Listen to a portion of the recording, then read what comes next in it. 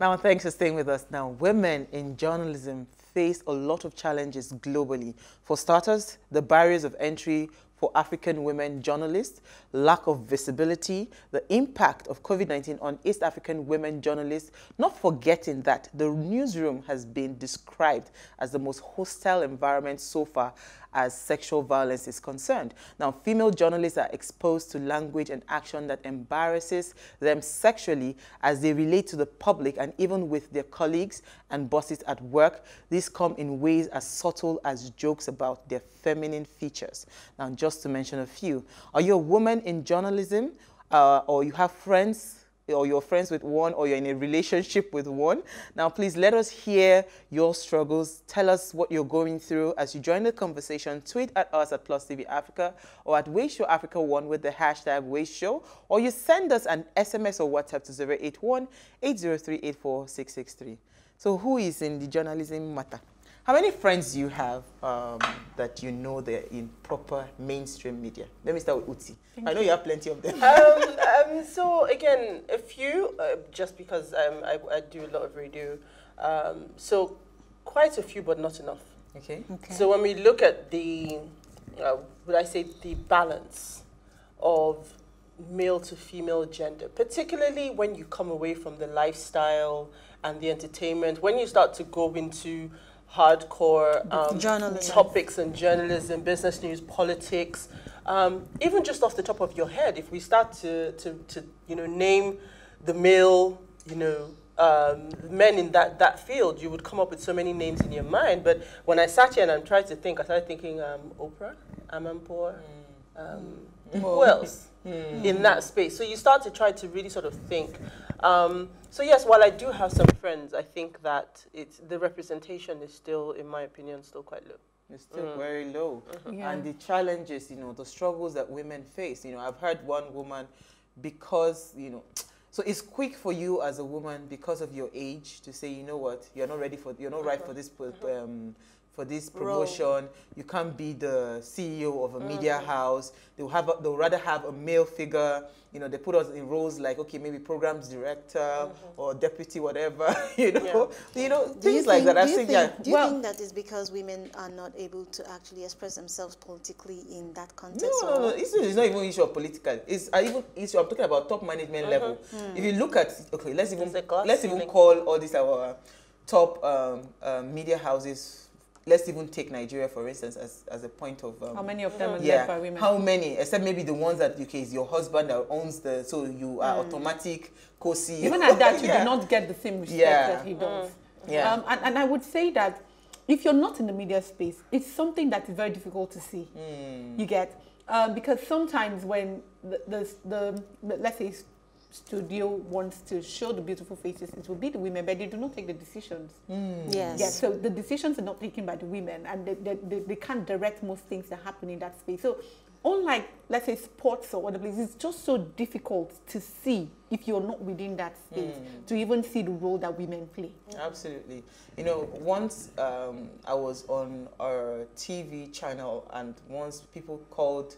Um, they called us uh, a certain top shot, you know, that we are his um, girlfriends. Because at that point, we were supporting, it was the political season, and you were talking, you're supporting. So it's so quick for you to just associate a woman and say that you know you don't take her things you don't take her you don't take her words seriously. seriously. you know you say oh this is pillow talk or this is bedroom talk mm-hmm. or whatever. And I see that play out all the time when it comes exactly. to, you know, even when you're talking, yeah. I mean, there's so many things to, to, to struggle with. There's, mm-hmm. there's sexism, there's ageism. Yeah. Because you, you, you feel like there's this, you know, you have to be beautiful, you have to be young. All the time. The pressure is so pressure real, especially real. for people in the movie industry the men are going, but you have to. Mm -hmm. There's Botox, there's tummy tuck. You just have to look young forever. you, you, the, the, men pressure. age like fine wine, and then Sean you just Connery. have to keep trying. So even if he's 150 years old, everybody will still, oh, he's looking hot. But for the ladies, you've gotta look good. So, but, but in so your real. experience with Ways, maybe let me start with EC. What has been, you know, your challenge, you know, coming into the media space? You know, have you had issues like,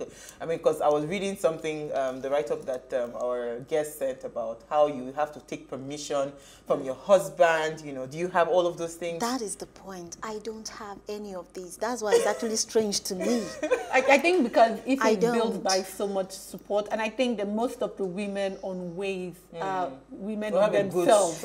If, if, not really remember, because they have a good support but structure. But there is also there was a time we actually had a guest on the show who actually insisted that or talked about us coming back home quite late and said, oh, mm. "Oh, and your husband's actually exactly. Yeah, it's true. Know? Like the person yeah. was in, know? in such like she was amusement. in awe yeah. that we could actually do that. So I, it's weird that we that women are actually going through things like that. Yeah, I have had a story I've in had, 2020. Yes, I've had precise. a real story. Um, I started being on TV very early in life, and I remember when I finished from the university and I wanted to start up a program in some TV station in some state. Mm. Do you know that the producer or whatever just cornered me to always be by his side? Like, I just found out that it was intentional. So mm. people couldn't talk to me, the cameraman couldn't talk to me. I could, the day that a cameraman walked me, I think I closed late mm. To the bus stop, they sent him on two weeks suspension because he ah. walked me. Ah, ah, so that was when I realized that I was being owned oh by this goodness. person because wow. I wanted to, you know, I wanted to own a TV, a a TV, TV program, program yes. on the show. That's why I gave up. I gave up there and I went back to, to your 95. I hadn't gotten a job then, but I, I just seriously knew that when I was going with them. Well, those are just, you know, just a little banter. So let me invite our guest. Dr. Yemisi Akinbobola is an award-winning journalist, academic, consultant, and co-founder of African Women in Media, a joint winner of um, the CNN African Journalist Award 2016 Sports Reporting. Her media work is Africa Focus, covering stories from rape culture in Nigeria to an investigative and data story on the trafficking of young West African football hopefuls by fake agents. Yemisi holds a PhD in Media and, and, Cultural Studies from Birmingham City University, where she is a senior lecturer and international research partnership manager. Thank you so much for joining us, Dr. Yemisi. you so much for having me. It's been a pleasure. Such an honor to have you. All right, so Dr. Yemisi, you've just heard our banter on some of the challenges, you know, that women face in um, in journalism. So, in your own experience, you know, what would you say are the biggest issues when it comes to women and the media space? Well, I mean, you've already said some of it. Things around sexual harassment is such a big issue. Um, I've been doing some research into the barriers of entry for African women, in particular, into journalism. And so sexual harassment is coming up, things around gendered um, role assignments in terms of the extent to which you can cover the hard news of politics and business, etc. Um, but then also in terms of the parity across the different ranks and levels. So ensuring that there's more women in leadership positions. So there's things around that. There's also cultural things in terms of the position of women or the perceived position of women and how that is used against you. How the fact that you're married and you have children might be used as the reason as to why you can not do a particular role because you need to work late, for example. Um, and we've been doing some research into the impact of COVID 19 on East African women journalists in particular. And we're finding that a lot more women have been laid off so put on unpaid leave. Wow. A lot of pregnant women have been put on unpaid leave. Wow. And also because now we're using a lot of um, digital tools to connect with our colleagues, you're finding that the sexual harassment is moving to WhatsApp messages, right? Suggestive sexual messages. So there's a whole range of issues that affect women that work in the media, from sexual harassment right up to the kind of work that they are located. And all of these things impact on your opportunities for promotion, mm. right, for progression. Um, and you know, this we've done a couple of research so far, and the reports will be coming out in a few weeks around barriers of entry and progression, and um, for women across the continent. And we're also finding that the experiences are similar across the continent, but then there's also um, some improvements in countries like South Africa, for example, where there's a lot more female editors than perhaps in Nigeria. Hmm. Okay. So, um, Dr. Yemisi, um, you launched an online academy during the lockdown currently. So, um, can you enlighten us or throw more light on who, um, who is um, eligible to enroll for it?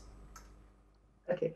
Well, I mean, let me start off by telling you about African Women in the Media. So, we are an NGO that focuses on improving the ways in which media functions relation, relating to African women, both in terms of women that work in the media, but also in terms of how women are represented in African in um, media content, right? And so up until this year, our main activities has been around our annual conference, which tours different African countries. But then COVID-19 hit and we had to cancel our conference. But we also still wanted to have the impact. And so we partnered with UNESCO to run a series of programs, including a risk communication and community engagement training program and a Wikimedia training program.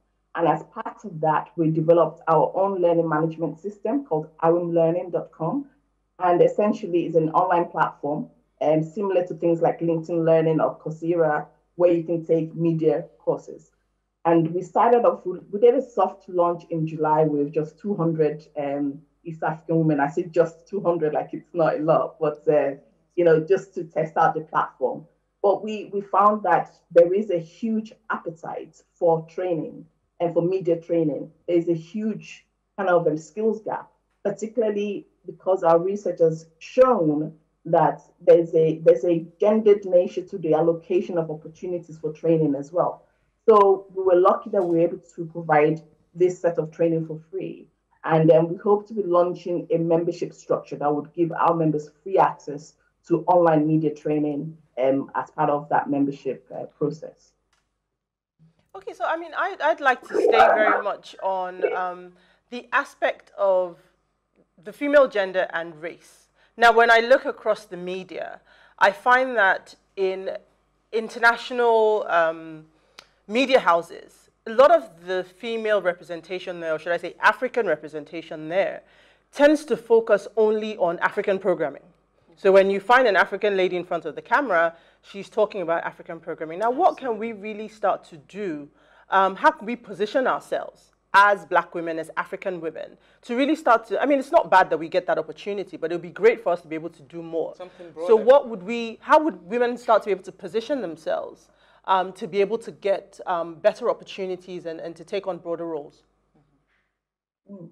I think oh, I think you know it's, it's one thing to talk about how should the women position themselves, but it's another thing for the organization themselves to take an active role in ensuring that they're using African female sources for news stories, for example. They have African women in front of the camera as well as in those leadership roles. So I think the first thing is for the organizations themselves to have gender policies, right? To have deliberate attempts at increasing the representation.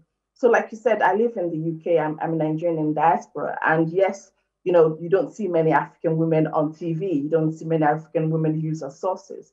But in the last few months, particularly due to the Black Lives Matter movement, we've seen an increase in that.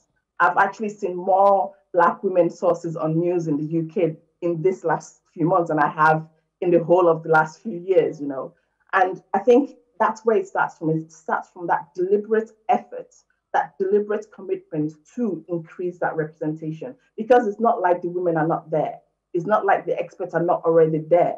It's just to give the opportunities for them to be showcased as part of um, the representation of the society. Okay.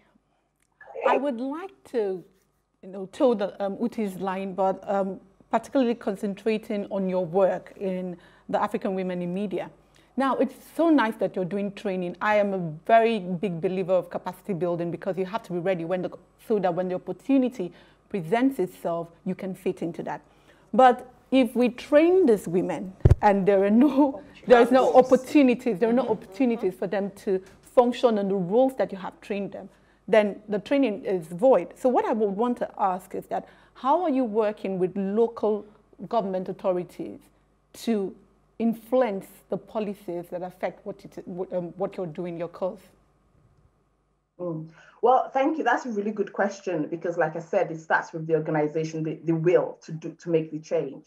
And in the last year, we've partnered with the African Union um, to organize our conferences, and we've been doing a lot more of research to look at the challenges and to look at the solutions, right?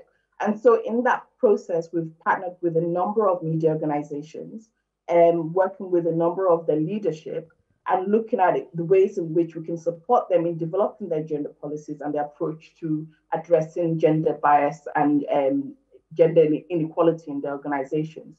And so I think it's it's on multiple levels in terms of bringing in policymakers to make them more gender aware in that sense.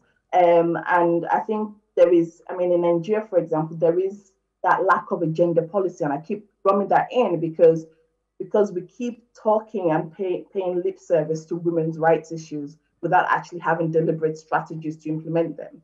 Um, in South Africa is a clear example of where, because they have a gender policy, you can see the direct outcome of that. Because 47% of um, editors in South African media are female, right? So you can see that by having that deliberate outline of policies, you can see the direct outcome. And so for the last um, year, in this year, we've done two pieces of research.